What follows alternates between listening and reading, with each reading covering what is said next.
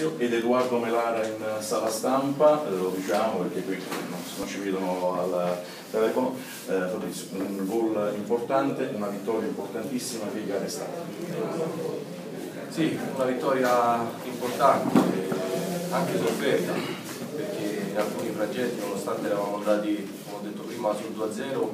eh, dovevamo gestire meglio la gara, sicuramente dovevamo tenere più la palla, cercare di forzare meno la giocata, perché anche il mister che da noi ci ha giocato insieme l'ha preparata veramente bene, ci aspettavano tutti a la palla pronti per, per ripartire. Quindi è stata però una vittoria, una vittoria del gruppo, una vittoria importante, una vittoria del gruppo e, eh, e quindi andiamo avanti segnare di testa con, con questo pubblico su quel gol è una dedica particolare, lo possiamo dire, abbiamo sì, verso la tribuna, c'è stata emozione anche in tribuna. Era il compleanno di, di mia moglie, quindi Milo, poi c'era Edoardo, che è la seconda o la terza partita che viene a vedere, e si era dedicato alla famiglia e soprattutto a, ai miei compagni. Lo portiamo più spesso, segnato abbiamo Sì, da sempre allora.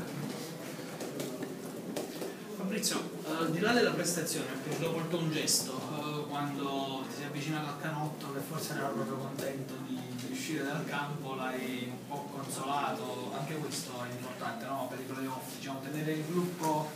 Sì, è importante, è fondamentale perché oggi sono stati fuori Daniele, che è qui presente, è stato fuori Strefezzi, è stato fuori Perati, giocatori che hanno fatto cose importanti. Eh, Daniele sicuramente per, perché eh, era tanto che non giocava dall'inizio, non ha voluto rischiare e, e, poi ha fatto delle scelte eh, abbastanza, abbastanza oculate, doveva gestire, gestire bene tutti quanti, è importante il gruppo adesso, tutti quanti, anche chi entra, infatti si è preso lo stesso eh, Berardi che ha fatto gol, Strefezza che ha fatto l'assist, Daniele che ha fatto gol, eh, è, è, fondamentale, come, come dicevo prima, la, il gruppo eh, che arriva con più alternative e meglio fisicamente eh, arriverà lontano.